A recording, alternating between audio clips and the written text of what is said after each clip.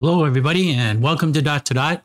And boy, these are some exciting times after the last uh, connection discovery made by Oliver from Oak Island Research and the Ontiara schematic. I'll be showing that in just a second.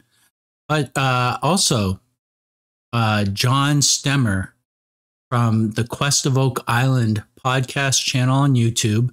He also has a Facebook uh, page, which has 70,000 members uh, involved. Some of them are actual people, I believe, on the show. And we're going to be having a live session with him on June 19th at 6 p.m. Eastern Time. And uh, hopefully Oliver will be there. He's in France. He's seven hours ahead of us. So uh, he stays up pretty late, and I think he'll be there. So, and we'll be discussing uh, the the discoveries that uh, we've made along the way, and we have coined, or basically, we have called this theory the vault theory. And I will give you a little slideshow. This is a preview. Uh, you can pause and look at some of the slides that I've made so far and ask questions when we do our live show. And here we go, of course. This is the Rochefoucauld map, one of the central theme, central items to this theory. Then, of course, Nolan's Cross, covered by Fred Nolan, 1980. And we have the 1445 distance and its relationship to Nolan's cross. And we have the functions of Nolan's cross. And we have the 1445 distances applied, where we discover these landmarks on Oak Island. And we have the Endstone and the North Anchors, which are the base part of 1445 distances. Then, of course, Fred Nolan's survey comes in to confirm some of the points that we discovered in the distances. The blue line is the 1445 distance. And the 1937 survey, which confirms the money pit. And of course, we move into the other Zena Halpern document, La Formula, and the Marie note, where we find this distance and also the 80 degree angle, which is the extension triangle.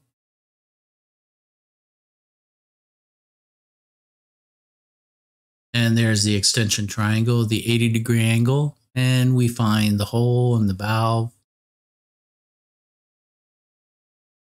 And then we put it all together and everything is located. Mostly the hole under the trap door and the valve and the oak money. Those are the major ones. And then we get into the formula, the translation about the instructions on how to get into the vault. And we then got another document, the D'Onston document, which really gave a little more credibility to La Formula and Kempton cipher. But we also get an additional magnetic declination value for Oak Island, which could tell us a date. And this is set as a heading, but it also could be the top stone distance from the headstone. These are the major instructions from La Formula. And then the discovery also of the 40 foot charcoal mark, which we believe is, which is from the account, historical account of the money pit, the first dig, how they discovered a charcoal layer at 40 feet. Could it be an indicator? Stop here. And then, of course, the Ontiara schematic, which is very cool. And it gives us step by step instructions. And here I just uh, correspond the letters from that to that those landmarks on the Rochefoucauld map. And then the steps that needed to be done. And then this is the vault. I drew this up. It's not that great, but this is the vault closed and this is the vault open. And step G, get into the vault. But we'll be explaining this more. Come see us on the live show at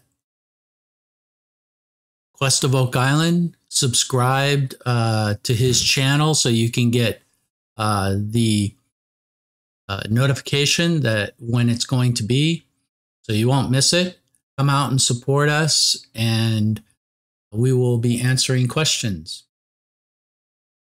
All right. Well, thanks for watching, and I will talk to you guys later.